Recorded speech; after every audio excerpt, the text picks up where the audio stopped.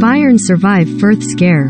Kolbert Press, Christian Kolbert via www. Amago i Mog. Two goals from Robert Lewandowski saw Bundesliga leaders Bayern Munich come from behind to beat bottom club Greuther Fürth 4-1 and avoid a second successive shock defeat on Sunday. A week after they slumped to a 4-2 defeat at Bochum, Bayern survived another scare against a promoted side as Lewandowski scored his eighth brace of the season to haul his side out of trouble.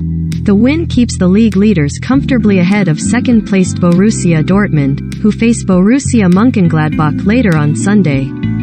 We took our time to get into the game. We were too slow and were making bad decisions in the first half, but we were much better in the second half. Lewandowski told DAZN. Bayern had around 80% of possession for much of the first half, but the defensive wobbles of the last week continued as Fürth looked to unsettle them on the counter-attack.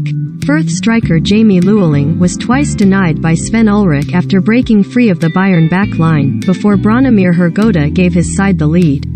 Shortly before half-time, Hrgota was brought down by Omar Richards on the edge of the area, and his free kick looped past Ulreich after a deflection off Marcel Sabitzer's knee.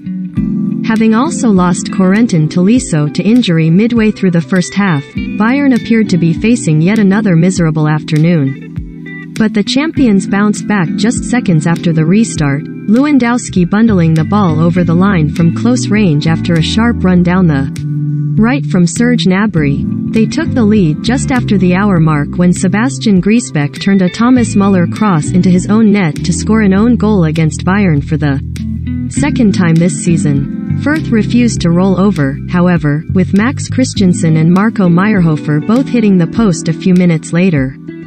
Lewandowski ended their resistance 10 minutes from time, nodding the ball in from close range after Niklas Süle had set him up with a pinpoint header. Across the face of goal, Eric Maxim Choupo-Moting completed the comeback with a tap in in injury time.